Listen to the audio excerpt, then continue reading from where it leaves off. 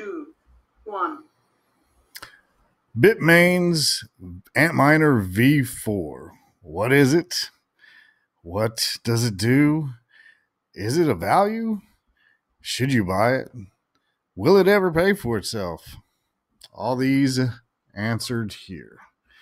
So, today, Bitmain introduced the all new Antminer v, V9, uh, a 4 terahash uh, based on their website, which does not give you a lot of information.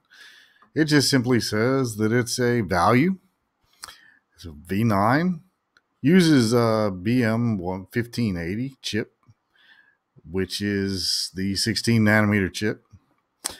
The uh, board's three hashes, three. You get about four, maybe four and a half hash power out of each one and is going to be running around a thousand watts. However, more than likely higher than that, with more than likely a thousand twenty-seven. But they are going to say we're going to average at a thousand watts. So, uh, very similar to all of the other ones. Also reminds me of the old S7, just repackaged and in a new uh, with a new name. That's pretty much it.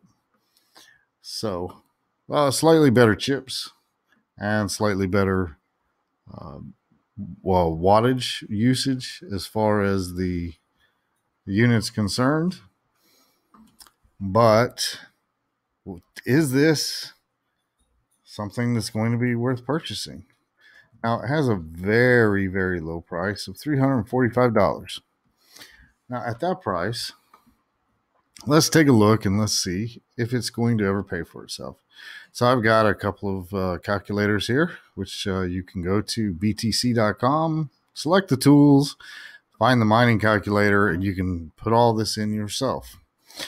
So, we have the current price at hash rate of the listed hash rate, power on average uh, average electrical use for most people, and the price of Bitcoin currently. So we calculate all of this, and lo and behold, what do we have? So we currently have almost a year to pay it back. It does bring in after uh, electricity costs eight dollars and seventy two cents per day. So it is ever so slightly profitable. Uh, we'll go over the pros and cons of this unit in a moment. So I also took three miners to get this price. Okay. So you have to buy a minimum of five.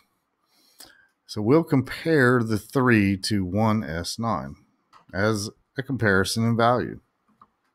Now we come over to the S9 at its current price we take the, and this is after shipping and whatnot.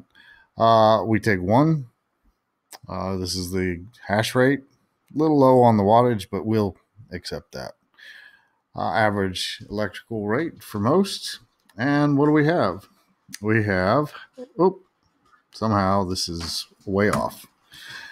So we come back here to put in the proper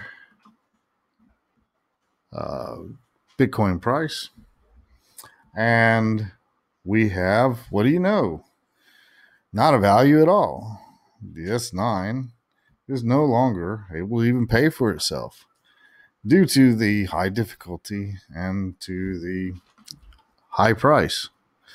Prices have been escalating out of control here lately, and hopefully, this will bring them back down to earth because at this rate, we're going backwards in mining. So let's talk about some pros and cons about having the uh, the V9 versus the S9.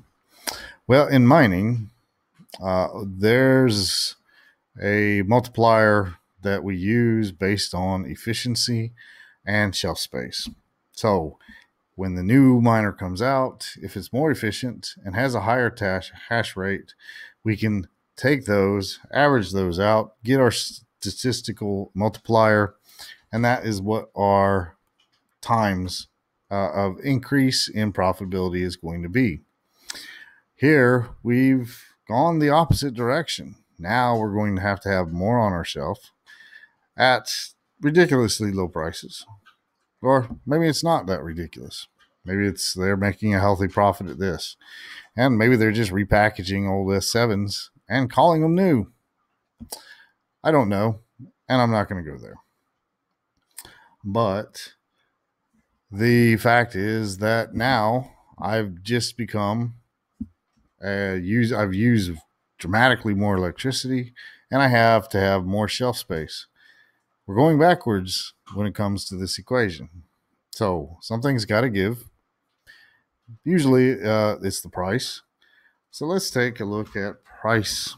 Now, we are going to have difficulty increases before prices get there, but we have to get to quite a bit higher in order to break even on our S9. So we're going to take 10,000 as far as the price per Bitcoin.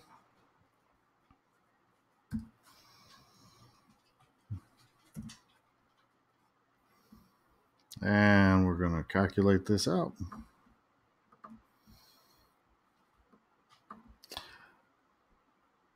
As you can see,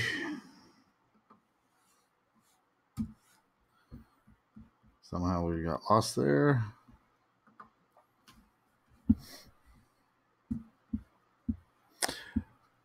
At that point, we are only making $11 a day per miner, and we do actually begin to have a payback. So prices got to increase before we can get to a healthy payback for our V9s. Now let's do the same thing for the S9.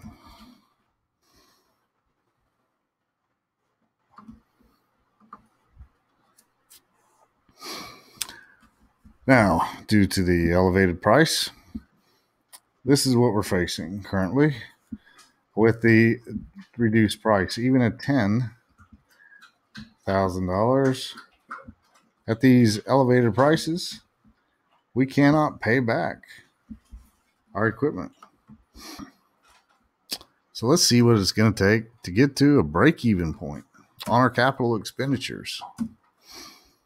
Well, we see that it takes three quarters of a year basically to uh, get a payback at 20,000 It's where we should have been with all the explosion in mining hash where uh, mining hash rate, uh, manufacturers getting into the game, and this is why I recommend diversification to everybody that hosts. I'm hosting as well as all miners out there, so that when times like this happen, we are able to survive. So something's got to give. But as far as the V9, it's a, a couple of steps backwards, but that's what it's going to take to be profitable, unfortunately. So let's demand lower prices on equipment. Let's demand uh, higher prices for Bitcoin. Hold those Bitcoin, don't sell them. That'll help raise the price.